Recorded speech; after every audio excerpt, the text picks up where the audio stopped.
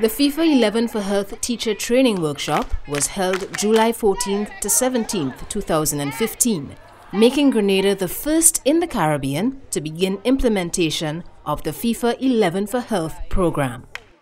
The workshop focused on how to teach young people skills related to specific aspects of football, as well as teaching about health issues and helping them to learn healthy behaviors. The components of the program is pretty much as a football match. So you have two uh, halves. First half, children learn things about abilities in football, but the main core of the program is the second half, where they learn a key health message and celebration, important uh, aspects to help them make better decisions for healthier lifestyles. Being faithful to one unaffected sexual partner or using a condom correctly every time you have sex. Even though it was something that was taken over by FIFA.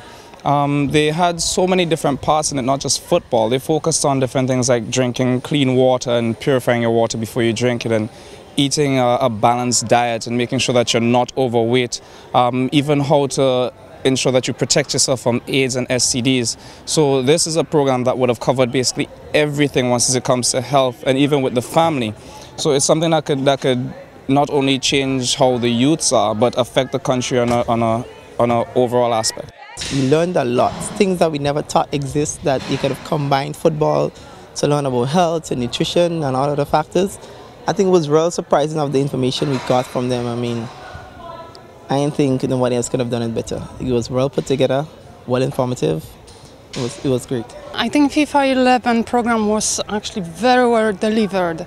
Was the sessions were great. The connection, what we're getting between PE and knowledge, science, is very well done. We're gonna use it. I think very good for grade five, grade six students. I think our students will really enjoy it. It's presented with fun, all together with knowledge education, common education. It was lovely to uh, be here in Grenada teaching the 11 messages to those TP teachers.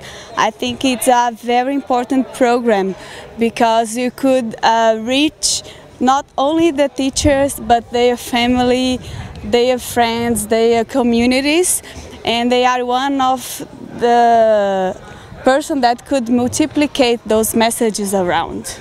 The four-day teacher training workshop was held at the Grenada Boys Secondary School and was facilitated by representatives from the FIFA Medical Assessment and Research Center. I think the, the quality of the, of the teachers uh, during the training course is at least equal to any of the other countries that we've been to. I'm really confident that you will deliver the program successfully, so I'm expecting great results from here. We've also been looking and trying to identify people that maybe, like Erica and Marcella, can go to other countries and work with us as they gain experience on the program um, and come and work and represent uh, Grenada in the future. The program has always been supported by Professor Jiří Dvořák, who's the head of the FIFA Medical Assessment and Research Centre the financial support that FIFA has given to the support of the programme has been enormous and it continues to be um, supported.